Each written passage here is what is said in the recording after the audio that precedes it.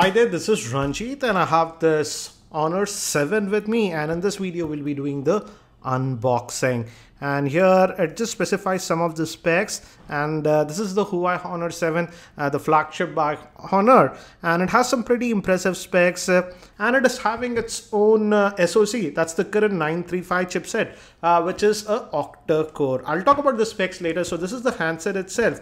And as you can see it's very sleek to look at uh, we'll come back to the handset a bit later. Let's see what else do we get in the box. And we have a booklet over here. And we also have the sim ejector tool. So let me take that out. And uh, let's look at what else do we get. We get some IMEI numbers and some documentation. Uh, very Spartan I would say. Almost nothing. So let me keep this thing to the side. And uh, we have two other boxes so let's see. And uh, uh, we have the power adapter uh, which is a normal 5 amp, uh, 5 volt 2 amp uh, uh, power brick. But this device does support quick chargings but if you want quick charging you have to buy the quick charger separately. And this should have been the what do you say USB cable that is missing. This is a review unit so that was missing but we should also have a, a USB cable. So it was missing on my review unit. Uh, anyways let's keep these things to the side and let's look at the handset itself. And this is the handset itself and as you can see uh, it sports a 5.2 inch IPS grade screen. And let me just power it on and it's a 1080p panel that we get and we have the power button over here by the time it actually boots let me give you a physical overview we have the IR blaster, so that's a nice thing. You can control devices like televisions, etc. 3.5 mm headphone jack, secondary noise cancellation microphone, and uh, we have the volume rocker and the power button, which actually looks really cool. Here we have the uh, vents for the speaker, micro USB slot that'll be used for charging this uh, device. And on this end, we also have extra key. Uh, we have to check if this key is customizable, and this is our sim tray. Let me just pop that. And it started to boot. And as you can see we can add our uh, what do you say micro SD card and our SIM card over here. So let me actually now quickly just set this up and then we'll continue and regarding Wi-Fi, it does support both the 2.4 as well as the 5 GHz Wi-Fi band. So let me just set this up and we'll continue. And we also have a fingerprint ID and we can set that up. I'll just skip that for now.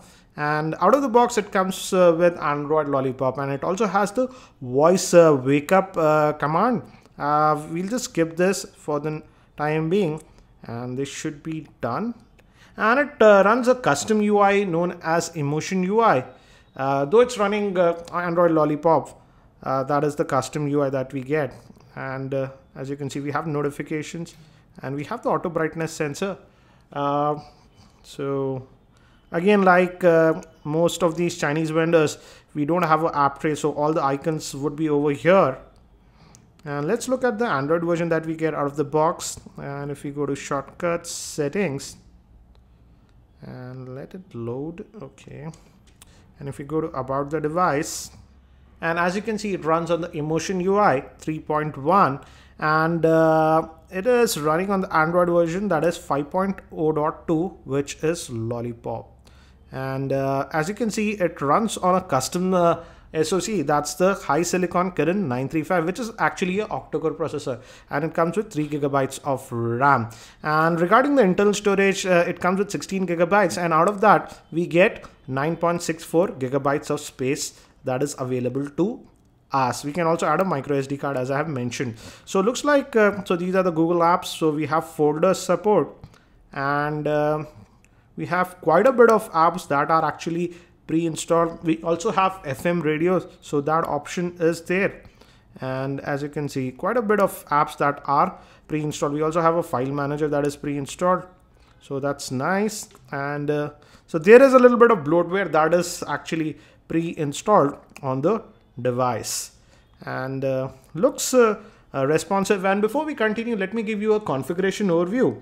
This Honor 7 is powered by the octa-core Kirin 935 uh, chipset, which is actually a 8-core processor divided into two quad cores. The first powerful one is uh, clocked at 2.2 gigahertz, and that is based on the ARM Cortex A53. And the other quad core is clocked at 1.5 gigahertz. That is also based on the ARM Cortex A53. So it's 64-bit enabled. It has 3 gigabytes of RAM. Regarding the GPU, it has the Mali T628 GPU, 16 gigabytes of internal storage, micro SD card support. It has a 5.2 inch 1080p screen and it runs custom UI known as the Emotion UI.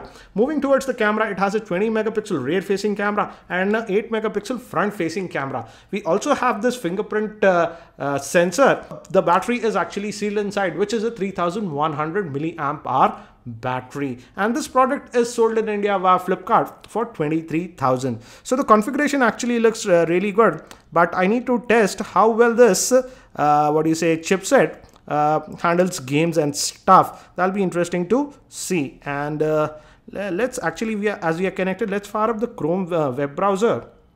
And let me just accept this. No thanks. Uh, okay got it. So this is the stock keyboard that we get. And let's go to techmeme.com and it should go to the mobile uh, version. As you can see. Let's uh, force it to the desktop variant and it loaded it fine. And regarding the screen, I would say the screen quality is good. As you can see, uh, if we even tilt, it is good and this is the multitasking uh, tree again as you can see uh, let's flick up it says to clear all the apps so if we clear all the apps we get 2.1 gigabyte of space uh, what memory free out of that 3 gigabytes. Uh, so that is interesting. And let's do one thing. Let's also quickly look at the camera. Uh, they say it's a what do you say 20 megapixel rear facing camera. And looks like we also have a front facing flash uh, with the camera. I'll just cancel this location services. So let me bring some objects. As you can see, I'm tilting the phone to extreme angles. Then also, uh, because it's IPS grade screen, you can see stuff. And we have the tap to focus.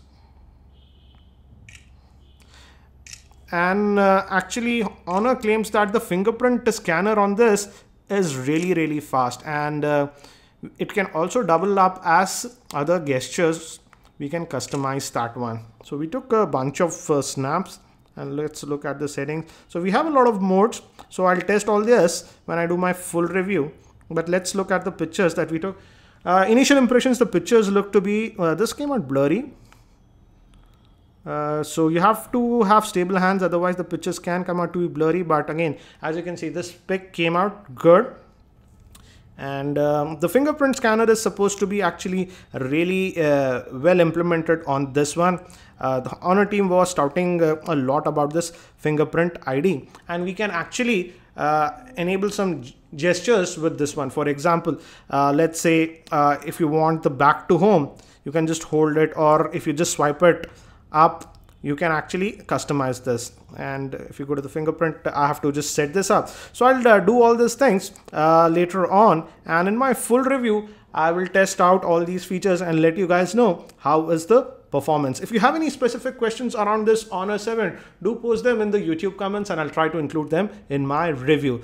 And if you're not subscribed to my YouTube channel, hit that subscribe button. Thanks for watching. This is Ranjit and I hope to see you in my next video.